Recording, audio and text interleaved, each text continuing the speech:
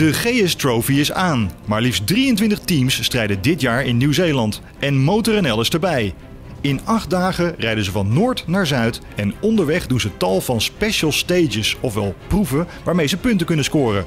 Onze hoofdredacteur Eddy legt de eerste proef uit. Ik heb mezelf een stik er maar even bij gepakt, want Team Nederland is volle concentratie uh, hierachter. Je ziet hier achter me een watertje.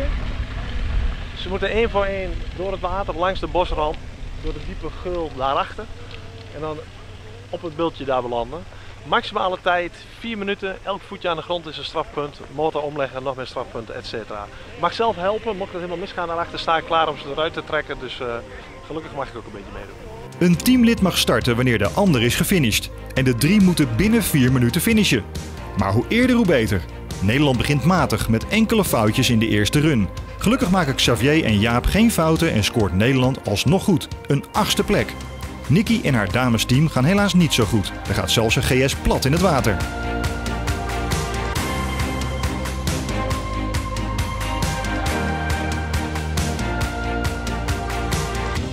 We gaan verder over het eiland. Op weg naar proef 2.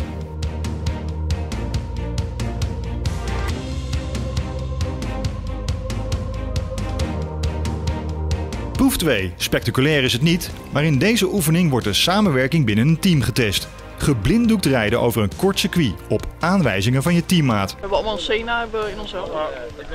En uh, eentje krijgt een blinddoek op. En die moet geblinddoekt hier door het hele parcoursje geloodst worden.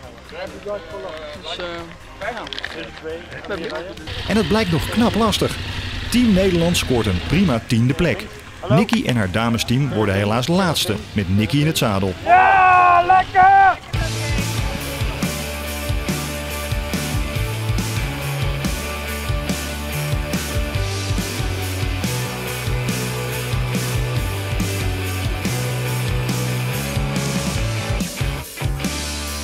We hebben vandaag uh, de eerste rijdag erop zitten. We hebben de eerste glimps van Nieuw-Zeeland uh, mogen zien.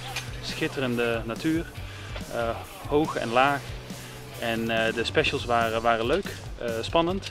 En ik denk dat we het wel redelijk, redelijk gedaan hebben vandaag. Dus we zullen het vanavond horen. En dan is het tijd voor de eerste uitslag. En de winnaar van dag 1 is... Team Korea!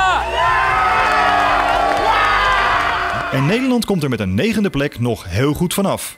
Dit was het voor dag 1. Tot morgen.